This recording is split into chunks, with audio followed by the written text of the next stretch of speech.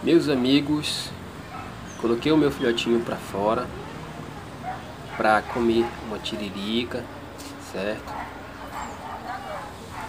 Mostrar para vocês aí que na próxima temporada esse garoto é quem vai iniciar a temporada 2023-2024, certo?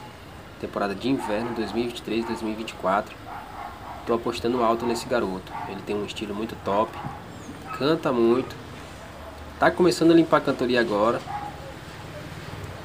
Eu achei que ele fosse cantar aí, mas como eu coloquei a tiririca, ele ficou intertido na tiririca, né?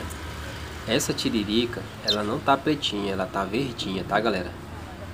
Ela tá verdinha, bem novinha. E ela é mais, ela é mais molezinha, muito bacana, tá? Ele gosta muito.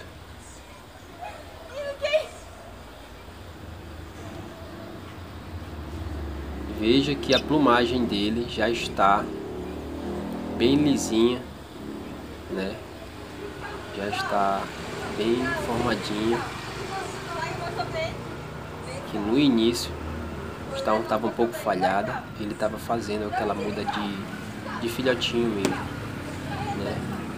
Jogando as penugens de filhotinho já para vir essas aí, ó. Ficou top. Quando ele completar 5, 6, perto dos 7 meses, ele já vai estar iniciando a muda de ninho, de pardo para pardo, certo pessoal?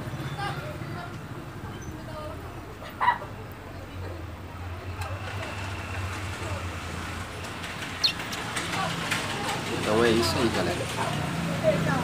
Esse garoto aí vai estar sendo treinado na temporada 2023-2024. No verão é só para ele passear mesmo, beleza? É nóis.